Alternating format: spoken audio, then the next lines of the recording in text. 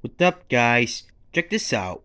Two months ago, my friend Joe gave me a special bell that I've never seen before.